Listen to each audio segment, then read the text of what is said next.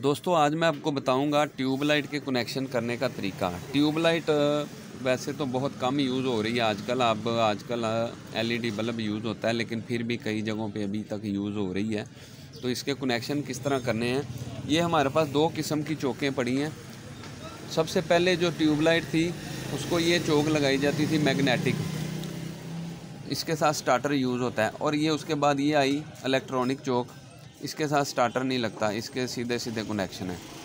तो अभी मैं आपको जो है मैग्नेटिक चौक के कनेक्शन करके बताऊँगा किस तरह करने हैं। मैग्नेटिक चौक ये स्टार्टर है और ये ट्यूबलाइट है। ये ट्यूबलाइट है हमारे पास 18 वाट की। इसमें जो बड़ी होती है, ये दो फुट साइज़ की है। इसमें जो बड़ा साइज़ आता है, वो 36 वाट होती है और वो चार फुट साइज़ की होती है, ठीक है? अब कनेक्शन इसके किस तरह करने हैं, ये हमारे पास है दो कनेक्टर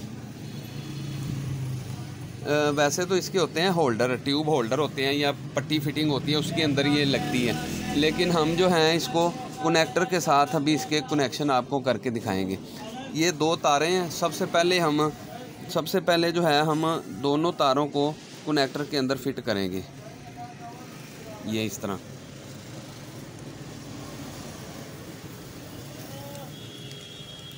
ये दोनों तारें कनेक्टर की एक साइड पे फिट हो गई। और इसी तरह ये दो तारों के पीस हैं, वो भी हम दूसरे कनेक्टर की एक साइड पे फिट कर देंगे। ये देखेंगे ये ये दूसरा कनेक्टर की दोनों साइडें जो एक साइड पे जो है, वो दोनों तारें फिट हो गई। ये ये हमने होल्डर की जगह पे यूज़ किया है। तो अभी हम ये जो एक साइड है, इसकी दो पिने हैं तो ये जो है कनेक्टर पूरा फिट आएगा, ये देखें। इस तरह हमने इसको फिट करना है और इसको टाइट कर देने हैं पेज इसके। अच्छी तरह से। ये होल्डर का काम करेंगे।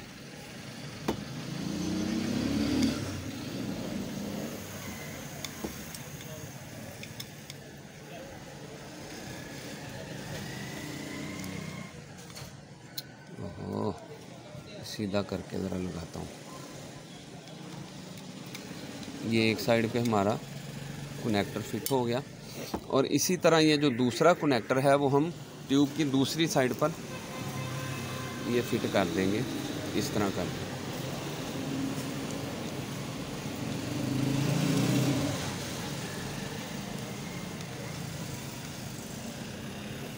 ये।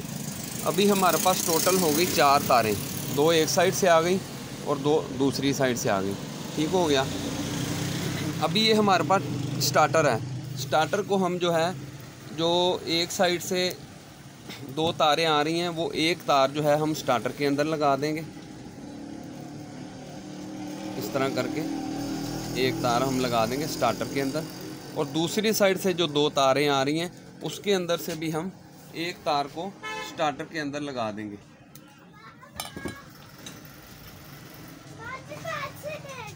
दूसरी तार को भी हम स्टार्टर के अंदर लगा देंगे।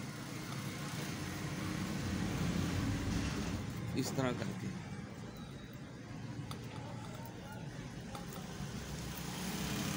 दूसरी तार को स्टार्टर के अंदर ऐसे लगा देंगे, ठीक हो गया?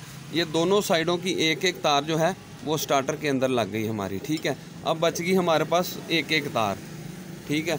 अभी जो एक तार है, वो हमने लगा देनी है, ये मैग्नेटिक चौक के अंदर। कोई भी साइड की एक तार इस चौक के अंदर हमने लगा देनी है। ये एक साइड पे हम ये वाली चौक लगा देते हैं। वो किसी भी साइड की आप लगा सकते हैं, इसमें कोई ज़रूरी नहीं है कि कौन सी साइड हो। ठीक हो गया? अभी हमारे पास एक ये तार बच गई और एक चौक की जो एक कनेक्टर की साइड है, वो तार बच गई। ये हमारे पास है मेन तार। इसको शू लगाया हुआ हमने। ये दो तारें हैं। एक तार हमने लगा देनी है चौक के अंदर। चौक के अंदर लगा देनी है और दूसरी जो तार है वो हमने लगा देनी है। जो ट्यूब की एक साइड की जो दूसरी तार बची हुई है, उसके, उसको हमने उसके साथ कनेक्ट कर देना है। उसके साथ कनेक्ट कर देना है। ये लग गई। ये हमारा हो गया मेन स्विच ठीक है? अब हम इसको लगाएँगे स्विच के अंदर और इसको ऑन करके देखते हैं। ये देखें। ये देखें, ये चल गई ट्यूब। इस तरह इसके कनेक्शन है। बड़े आसानी के साथ आप खुद ब खुद कर सकते हैं। ये देखें। और इसी तरह जो है, ये आपका, ये हमारी होगी मैग्नेटिक चौक के कनेक्शन ठीक है? अब हमने दूसरी जो आपको बताता हूँ मैं, कि जो इलेक्ट्रॉनिक चौक है, उसके कनेक्शन किस तरह करते हैं? मैग्नेटिक चौक के कनेक्शन ये हमने उतार दिया इसको। ठीक हो गया। और वो बगैर स्टार्टर की होती है चौक ये उतार दिया हमने। और स्टार्टर भी हमने उतार देना है। ये देखिए ये स्टार्टर निकल गया। अब उसकी जो कनेक्शन है, वो बड़े आसान है। ये दोनों तारें हमने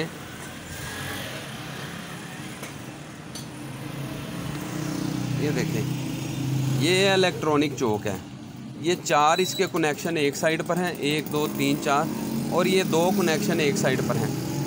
और ये जो चारों ट्यूब की तारें हैं ना, ये हमने इस साइड पे लगा देनी है चारों साइडों पे, दो एक साइड पे और दो एक साइड पे। और जो मेन तार है वो हमने इस तरफ़ लगा देनी है और ये बगैर स्टार्टर के ट्यूब चल जाएगी। ठीक है, इस तरह इसके कनेक्शन आप बड़े आसानी से कर सकते हैं।